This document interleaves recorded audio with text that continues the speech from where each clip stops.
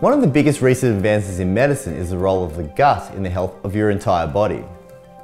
Your gut is the home of trillions of microbes all living within the digestive system. These microbes live and manage many of the body's physiological processes. This includes the absorption of nutrients and protection against infections. But the digestive microbiome and the gut barrier are now implicated in many disease processes. Research is showing that gut dysfunction's role in chronic disease disorders like irritable bowel syndrome, type 2 diabetes, autoimmune conditions, obesity, and even degenerative conditions of the brain. Dentists, in their day-to-day -day work, deal with the oral microbiome. The oral flora are the first point of contact with the world, yet it's a much less appreciated aspect of our microbiome.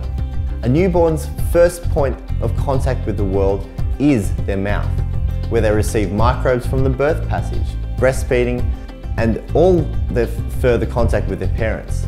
Throughout our lives, the mouth continues to act as a bodyguard for the, for the entire gut microbiome. Every second you swallow thousands of bacteria. Your dental health is the first sign of your gut health. Bacteria in the mouth play a protective role against tooth decay, gum disease, and bad breath. When healing the gut, we must also heal the mouth and any whole body health approach needs to take the oral microbiome into account. Your oral health is a primary sign of the mouth-gut axis. We should never think of the mouth or health as a separate entity to the rest of the body.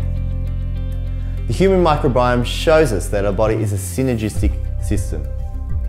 In the dental diet, we'll learn how to use your teeth as a sign of your downstream gut health and how to heal the entire digestive tract through delicious and natural food.